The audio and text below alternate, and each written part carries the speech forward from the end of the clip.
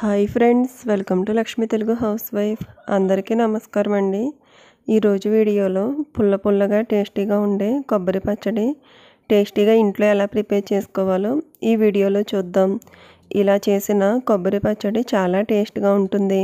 అలాగే సింపుల్గా పది నిమిషాల్లో మనం ఇలా ప్రిపేర్ చేసుకోవచ్చు. ఇది మా నానమ్మ దగ్గర నేర్చుకున్న రెసిపీ. సింపుల్గా మీరు కూడా ఇలా చేసుకుని ట్రై చేసి చూడండి. ఇలా చేసిన కొబ్బరి పచ్చడిలో వేడివేడి అన్నంలో నెయ్యి వేసుకుని తింటే చాలా టేస్ట్గా ఉంటుంది.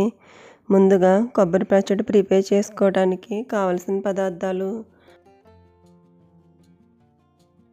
కొబ్బరి చెక్కలు అలాగే పది ఎండుమిరపకాయలు ఒక స్పూన్ ధనియాలు ఒక స్పూన్ మినపప్పు ఒక స్పూన్ పచ్చిశనగపప్పు అర టీ స్పూన్ ఆవాలు అర టీ స్పూన్ జీలకర్ర ఐదు వెల్లుల్లి రెబ్బలు రెండు రెమ్మలు కరివేపాకు ముందుగా కొబ్బరి చెక్కలను ఇలా తురుముకుని ఉంచుకోవాలి.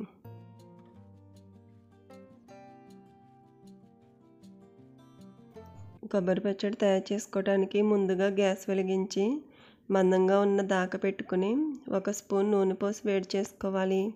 నూనె వేడైన తర్వాత పది ఎండుమిరపకాయ ముక్కలను హాఫ్గా కట్ చేసుకుని వేసుకోవాలి. వాటిని గ్యాస్ మీడియంలో పెట్టుకుని ఇలా ఫ్రై చేసుకోవాలి? కొబ్బరి పచ్చడికి ఎక్కువ నూనె అవసరం ఉండదు. ఒక స్పూన్ నూనె వేసుకుంటే సరిపోతుంది.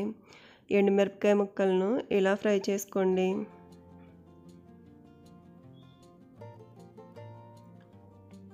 ఎండుమిరపకాయ ముక్కలు ఫ్రై అవుతున్నప్పుడు ఒక స్పూన్ మినప్పప్పు అలాగే ఒక స్పూన్ పచ్చిశనగపప్పు యాడ్ చేసుకుని పప్పులను దోరగా ఫ్రై చేసుకోవాలి.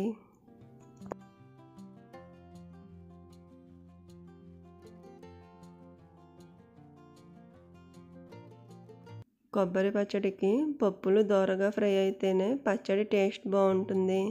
ఈ విధంగా గ్యాస్ మీడియంలో పెట్టుకుని కదుపుతూ వేగించుకోవాలి. ఇలా వేగుతున్నప్పుడు నాలుగు వెల్లుల్లి రెబ్బలను దంచి వేసుకోవాలి.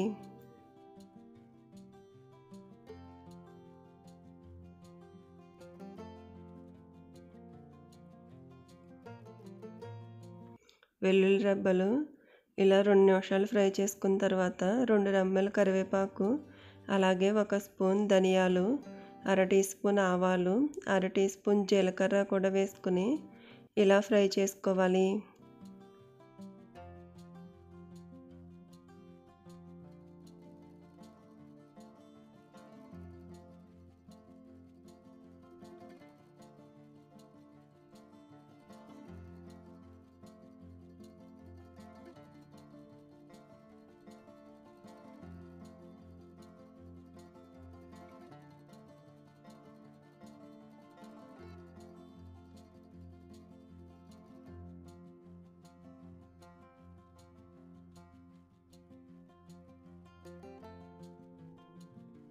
ఈ విధంగా పప్పులను ఫ్రై చేసుకోవాలి. ఇలా ఫ్రై అయిన తర్వాత రెండు నిమిషాలు ఫ్రై చేసుకుని గ్యాస్ ఆఫ్ చేసుకోవాలి. ఇలా పచ్చడికి వేగించుకుంటే పచ్చడి కమ్మగా టేస్ట్గా ఉంటుంది.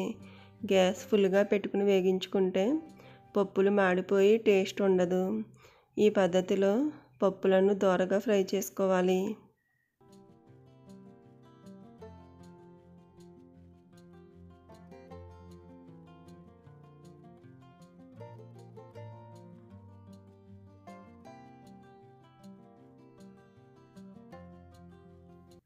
ఈ విధంగా ఫ్రై చేసుకుని గ్యాస్ ఆఫ్ చేసుకోవాలి. ఇప్పుడు పప్పులను చల్లారబెట్టుకోవాలి. చల్లారిన తర్వాత ఒక మిక్సీ జార్ తీసుకుని అందులో చల్లారిన ఎండుమిరపకాయలు వేగించిన పప్పులను అందులో వేసుకుని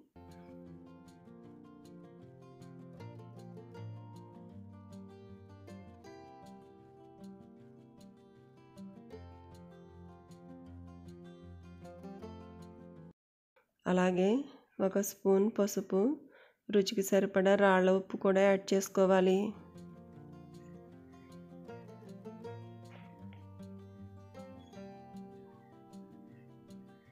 పచ్చళ్ళలో రాళ్ళ ఉప్పు వేసుకుంటే పచ్చడి టేస్ట్ బాగుంటుంది.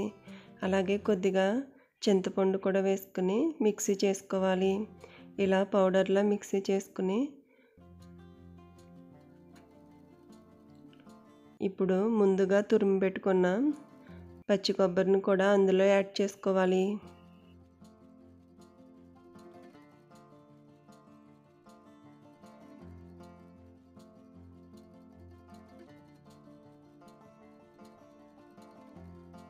ఇప్పుడు మళ్ళీ మిక్సీ చేసుకోవాలి. ఇలా మిక్సీ చేసుకుంటే పుల్ల పుల్లని కొబ్బరి పచ్చడి టేస్టీగా రెడీ అవుతుంది. ఇలా చేసిన కొబ్బరి పచ్చడి చాలా టేస్ట్గా ఉంటుంది. ఇప్పుడు కొబ్బరి పచ్చడిని సర్వింగ్ బౌల్లోకి తీసుకుందాం.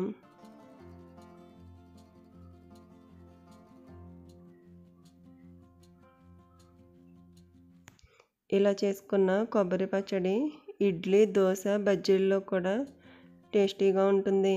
అలాగే వేడి వేడి అన్నంలో నెయ్యి వేసుకుని ఈ కొబ్బరి పచ్చడి వేసుకుని తింటే చాలా టేస్ట్గా ఉంటుంది.